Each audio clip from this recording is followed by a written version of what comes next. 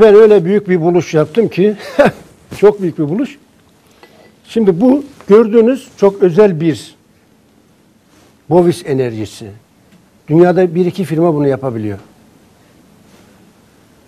Şimdi bunun yaymış olduğu Bovis enerjisi iki buçuk üç milyon. Böyle eliniz, elinizi tuttunuz. Bunun tam eee 1500 katı enerji veriyor insana. Evet. Bir negatif iyon veriyor vücuda.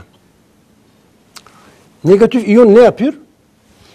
Negatif iyon vücudumuzdaki pozitif iyonu yok ediyor. Yani vücudu temizliyor, arıtıyor. Evet. Bir. İki, hidrojen iyonu veriyor. Hidrojen iyonu ne yapıyor?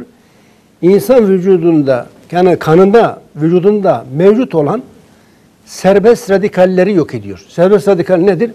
Hidroksit, peroksit vesaire. Bunlar tehlikeli madde. Hidroksit, peroksit bu serbest radikaller saniyede binlerce, on binlerce defa hücreye saldırıyor. Hücredeki diğer maddelerle reaksiyona girmek istiyor. Ama reaksiyon girecek bir şey olmayınca ne yapıyor? Tahribat yapıyor. Hücreye zarar veriyor. Serbest radikaller. Bu nedenle insanlar yaşlanıyor. Erken yaşlanmanın sebebi bu. Eğer ki serbest radikalleri durdurabilse insanlar vücutta hücrelere saldırısını kolay kolay insanlar yaşlanmaz. Bu serbest radikallerin sürekli hücrelere yapmış olduğu tahribat, saldırı nedeniyle bünye yavaş yavaş yıpranıyor ve yaşlanma meydana geliyor. İşte bu voice enerjisi yaymış olduğu hidrojen iyonu serbest radikalli bünyede yok ediyor, sıfırlıyor. Yani sıfırlamıyor da azaltıyor. Böylece kişi kolay kolay yaşlanmıyor. Antioksidan, anti-aging. Bir diğer özelliği ise oksijen iyonu yayıyor. Oksijen iyonu ne işe yarar? Evet. Mesela ama e, Çin'de insanlar kansere yakalandı. Ne yapıyorlar? Al kimyasal ilaçları yat yatakta demiyorlar. Türkiye'de olduğu, Avrupa'da, Amerika'da olduğu gibi. Bir spor yaptırıyorlar, iki sağlıklı besleniyor. Sağlıklı beslenirse, spor yaparsa insanın kanındaki, vücudundaki oksijen oranı artıyor. Oksijen arttı mı bakteri, virüs ve mantar yaşayamaz. Çok kolay. Çinliler olsun, Malezya, Endonezya, Tayland, Tayvan, Kamboçya, Laos gibi ülkelerde insanlar kimyasal ilaç kullanmıyorlar. Ben mesela Malezya'ya gittim. Eczane yok. Dedim ki ya bu insanların baş ağrısı, karın ağrısı olmuyor mu? Antibiyotik kullanmıyor mu? Grip olmuyor mu? Nezle olmuyor mu? İhtiyaç yok diyorlar. Niye? Bitki var. Çeşit çeşit bitkilerden ürünler üretmişler. Onları kullanıyorlar. Eczane yok. Eczane nedir bilmiyorlar. Sadece Avrupa'da, Amerika'da ve Türkiye gibi ülkelerde çok ilaç sektörü tamamen insanlar böyle yavaş yavaş zehirliyor. Maşallah bizim insanlarımız da bol bol Bilmiyor, kullanıyor. evet. Çok kullan. Yani bir de sigorta ödediği için ne demiş atalarımız? Aa, acı sirke baldan tatlıdır. Yani bedava olur, bedava, bedava olursa iyi oluyor. Şimdi bunun yaymış olduğu negat, negatif iyon, hidrojen iyonu, oksijen iyonu vücudu temizliyor, arıtıyor. Bütün negatif duygu düşünceyi temizliyor, vücudu arıtıyor. Mesela bir kişi günü bir hafta içerisinde çalıştı, çalıştı, çok yoğun, tempolu çalıştı. Halsiz, dermansız, yorgun düştü biraz. Evet. Hafta sonu nereye gitmek ister? Kişi dağa gitmek ister. Ormana gitmek ister. Deniz kenarına gitmek ister. Neden? Çünkü oraya gittiği zaman rahatlıyor. Neden rahatlıyor? Deniz kenarına gidince neden rahatlıyor? Dağa çıkınca neden rahatlıyor? Ormana gidince ne- neden rahatlıyor? Çünkü bu alanlarda yoğun bir iyon var, negatif iyon. Negatif iyon insan vücudundaki pozitif iyonu yok ediyor, kişiye enerji veriyor. Enerji. Vücudu temizliyor. Bu nedenle insanlar tatilde hemen sahillere koşarlar, deniz kenarına. Evet. Veya dağa gider veya ormana gider. Rahatlamak için.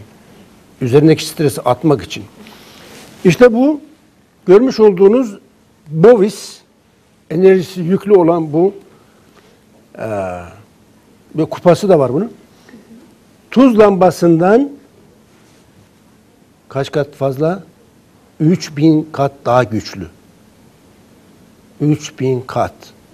Ve bir böyle bir şişe sürahi içerisindeki içindeki maddeyi söylemiyorum çünkü gizli bir formül. Bu bir ömür bozulmaz. Bir Ömürlük kullanım yani. bir ömür bozulmaz. Ben buna bu formül için kaç bin dolar para ödedim. Onun için söyle, söylenmez. Söylenirse bizim bir arkadaşımız var. Amerika'da özel bir eğitim gördü. Bu fizik, kimya vesaire onun yapmış olduğu 10 yıllık çalışma sonucunda geliştirmiş olduğu bir formül. Evet. Şimdi mesela şöyle kupa, böyle su bardağı, kupa. Evet. Suyu koyuyoruz.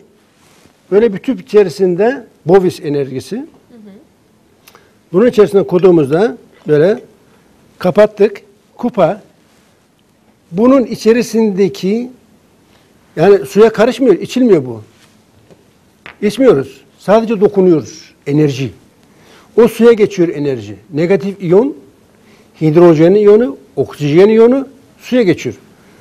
Bu suyu içtiğimizde ne oluyor? Bismillah. Evet canlı yayında hocamız bizzat denedi. Aa çok güzel. Şimdi biraz önce dedim ya Bursa'da kuyu suyunu alıyor. Kanalizasyon suyuyla bir farkı yok. Evet. Kuyu suyunu dolduruyor vatandaşa satıyor. Bunun bovisi 2000'den aşağı 6500'den aşağı olmaması gerekir. Bir kişinin yediği, içtiği hiçbir şey 6500 kendi enerjisinden aşağı olmamalı.